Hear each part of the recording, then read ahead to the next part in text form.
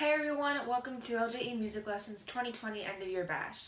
My name is Elise and today I'll be performing Vince Guaraldi's arrangement of What Child Is This? Please enjoy.